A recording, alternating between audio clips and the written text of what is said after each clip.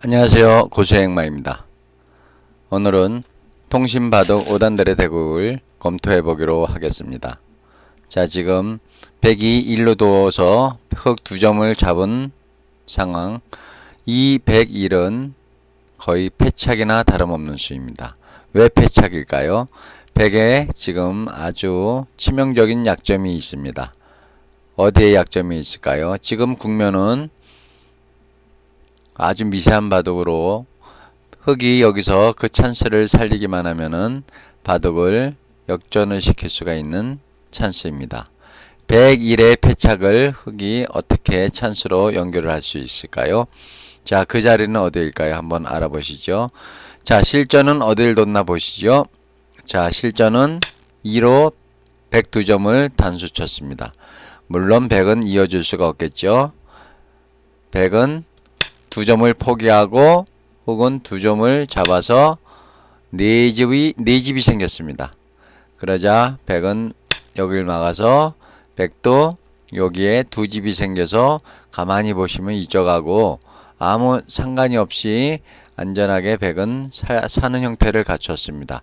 이렇게 돼가지고 결국은 결과가 백의 한 집 반 승리로 끝나고 말았습니다.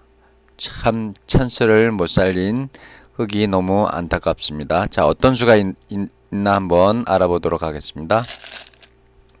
자, 배, 흑이는 너무 아니란 생각을 하고 있죠. 자, 지금 여기에서 어딜까요? 한 방에 끝낼 수 있는 찬스 바로 여기 붙이는 수죠.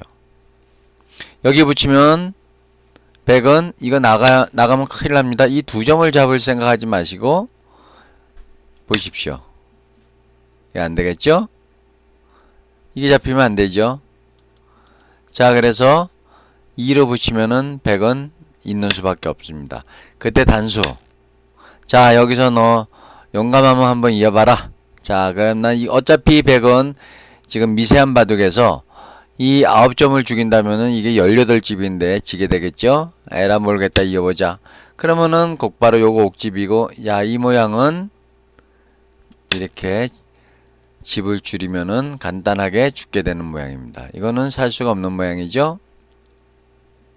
자 이렇게 해서 자 이런 2로 붙이는 수를 뒀으면은 100은 여기서 돌을 거둬야 되는 형세입니다.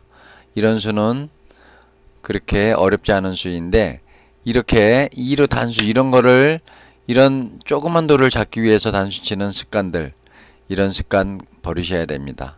바둑은 이렇게 마음이 약해가지고는 바둑을 이길 수가 없습니다. 한판 바둑 이기기가 굉장히 어려운 상황인데 이렇게 이쁘게만 둔다고 되는 게 아닙니다. 자, 바둑은 어떻게 해요? 독한 마음을 가져야 됩니다. 내가 이게 아니라 이것까지 다 잡는다. 이런 마음까지도 가져야 됩니다. 그러려면 어떻게 돼요? 여기서 두 점 단수가 아니라 다른 수를 생각했어야죠. 자, 그러면 100은 여기서 1로 단수 치는 게 아니고, 자, 여기를 막아야 됩니다. 여기를 막으면은 지금, 지금 이거 단수 선수니까 하나, 둘, 셋, 넷, 다섯 집이나 생깁니다. 다섯 집 생기고, 이 두 점도 흑한테 안 잡히고, 많은 차이가 나죠? 그럼 여기는 흑도 여기가 크지 않느냐, 선수로. 자세히 보시면은 이 100이 집이 없습니다. 어차피 100은 여기다가 단수를 쳐서 이거를 두 수를 놓고 두어야 됩니다. 이 두 점 잡는 거하고 상관없이 어차피 두 수를 두기 때문에 지금 여기보다 훨씬 작은 자리죠. 그래서 100이 1로다가 여길 막았으면은 집 차이가 더 났을 것입니다. 그리고 집 차이가 아니라 이 찬스를 흙이 여기를 안 붙이고 여길 나가지고 찬스를 못 살리고 흑이 패한 아까운 바둑이었습니다.